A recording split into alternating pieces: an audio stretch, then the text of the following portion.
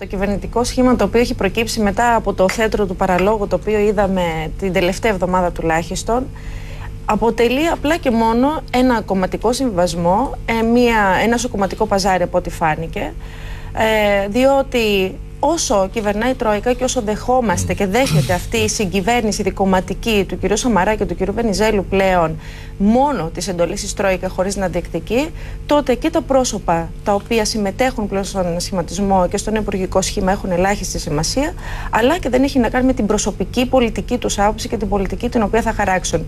Είναι προδιαγεγραμμένη η πορεία τους, είναι ξεκάθαρα τα πράγματα για το ποια είναι η αποστολή τους σε αυτά τα υπουργεία. Άποψή μου είναι ότι η κυβέρνηση αυτή κομματική ε, θα έρθει με ακόμα περισσότερη αγριότητα και βιότητα να περάσει ακόμα πιο σκληρά και επαχθή μέτρα, διότι δεν έχει καθόλου περιθώριο χρόνου, όπως ακούστηκε και προηγουμένως.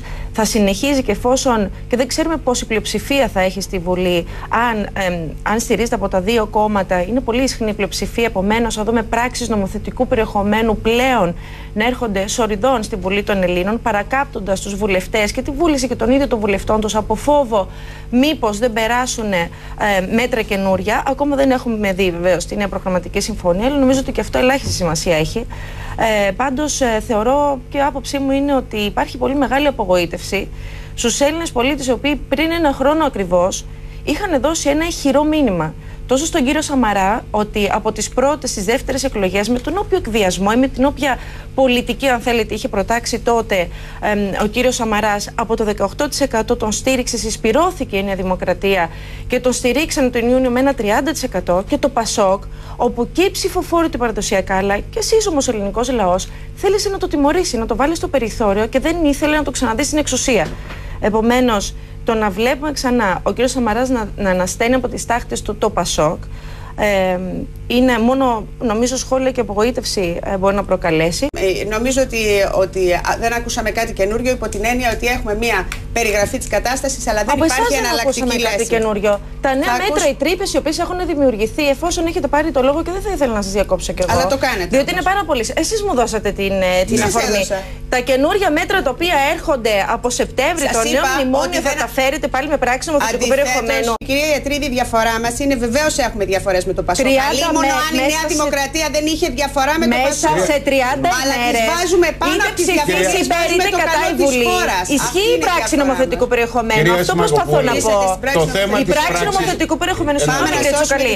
Ξέρουμε ότι είτε έρθει στη Βουλή είτε όχι, ισχύουν οι αποφάσεις πράξης νομοθετικού περιεχομένου. Ακόμα και να το καταψηφίσετε, στρουθοκαμιλίζετε και καλύπτεστε πίσω από αυτό, διότι δεν ξέρετε τι πλειοψηφία θα έχετε στη Βουλή. Είναι δυνατόν μετά από μία εβδομάδα που έχετε ταλαιπωρήσει τους Έλληνες πολίτες με τόσα προβλήματα να φαίνεται σήμερα ότι ακόμα και τώρα συζητώντας με δύο ε, ε, πολύ σημαντικά στελέχη και των δύο κομμάτων και εσείς και ο κύριος Ανδρουλάκης να, να φέρετε τόσο σημαντικές διαφωνίες την επομένη του ναι, Είναι δυνατόν. Έχει ακουστεί ότι στην πραγματική συμφωνία θα βάλετε τον όρο όχι νέα μέτρα με την προπόθεση ότι θα περάσουν προφανώς με πράξη νομοθετικού περιεχομένου το βάζετε και ότι δεν θα λακίσουν και συγγνώμη για την έκφραση τη τελευταία στιγμή οι βουλευτές σας.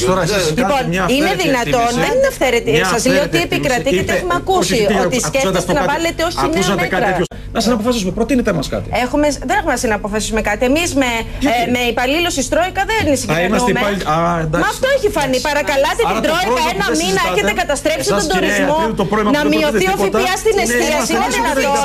Και στον τουρισμό τους παρακαλάτε ακόμα. Ρεκόρ αφήξε. Είναι δυνατόν. Ναι, 17 εκατομμύρια έχουν πνιγεί τα νησιά μας από τουρισμό. Τι να σας πω; Για έλατε και μία βόλτα προ τα νησιά τα μικρότερα να δείτε τι, τι πόνος και τι πίκρα επικρατεί. Τι θα έχει γίνει ο τουρισμός, λοιπόν, Την κάναμε την πρόταση μορφής. Εμείς δεν φοβόμαστε να πούμε τη γνώμη μας. Αν γίνονταν εκλογές, θα από την πρώτη στιγμή. Ο τουρισμός; Θα είχατε πάει εκεί που έπρεπε να είστε από την αρχή αν είχαν γίνει εκλογές. Αλλά από εκεί και πέρα όμως το θέμα είναι ότι εμείς είμαστε ξεκάθαροι. Είμαστε το μόνο κόμμα στην αντιπολίτευση που λέμε από την πρώτη στιγμή και έχουμε επιβεβαιωθεί σε όλα.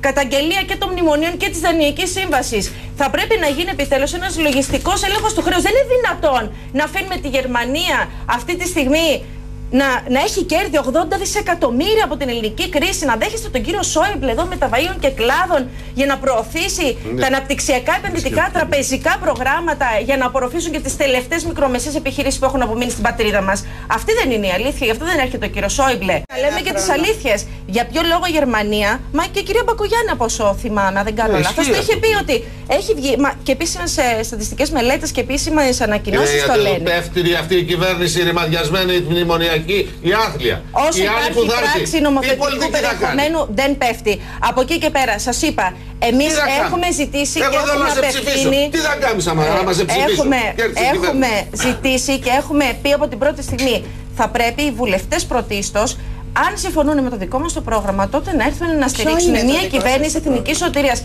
Νομίζω ότι οφείλετε, σαν εκπρόσωπος της Νέας Δημοκρατίας, να το γνωρίζετε, κυρία Σιμακοπούλου, ποιο είναι το πρόγραμμα. Και εσείς οφείλετε, σαν εκπρόσωπος του κόμματό σας, να απαντάτε. Εγώ δεν είμαι εκπρόσωπος τύπου της, ε, των ανεξάρτητων Ελλήνων. Θα πέσουν λοιπόν, λεφτά από τον ουρανό, κύριε Έχετε δει ότι αν γίνουν εκλογές θα έρθουν τουρίστες; Ε, σας έχω πει ότι είμαστε από την πρώτη στιγμή ξεκάθαροι. Ποτέ δεν είπαμε ναι, ότι υπάρχει μαγικό. Μα δεν με αφήνετε να ολοκληρώσω. Προφανώς δεν θέλετε να ακούσετε.